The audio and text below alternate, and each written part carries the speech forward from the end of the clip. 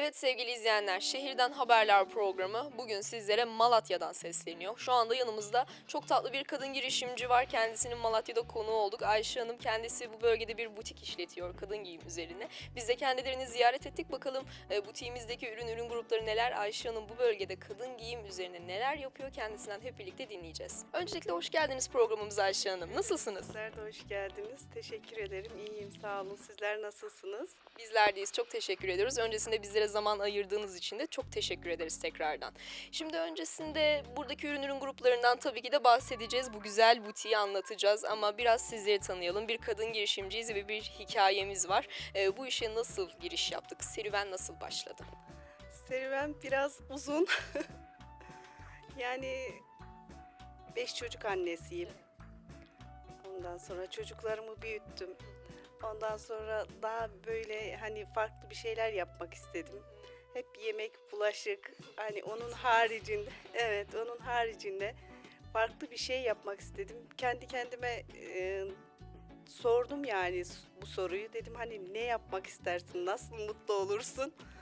O şekilde ben kıyafeti giyinmeyi hep seven bir insan olduğum için e, böyle bir şey yapmak bana doğru geldi.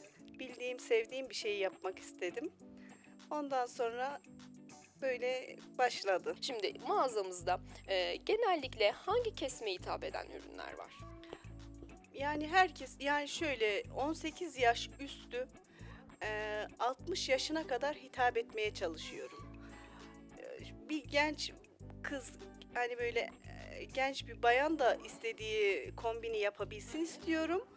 E, Orta yaşta olan bayan da istediği kombini yapabilsin istiyorum ama e, bunu kaliteli olarak onlara sunmaya çalışıyorum. O yüzden de e, çalıştığım markalar, firmalar hepsi e, Türkiye'nin önde gelen güzel kaliteli markaları, güvenilir markalar.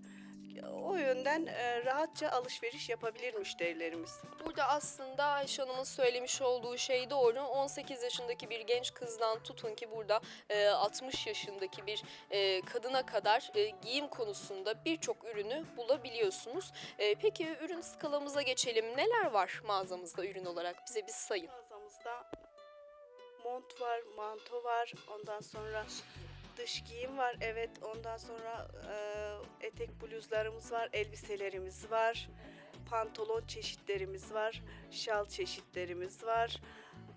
Bu şekilde e, hem hırka, yani böyle komple bir giyim var. Peki şimdi Malatya'da yer alıyoruz. Mağazamız Malatya'da. E, Instagram üzerinden e, hem Instagram kullanıcı adınızı söyleyin hem de şunu duymak istiyorum. Diyelim ki ben İstanbul'dayım, İzmir'deyim, Ankara'dayım. E, size sipariş vermek istediğimde e, şehir dışlarına da kargolama yapıyor musunuz burada?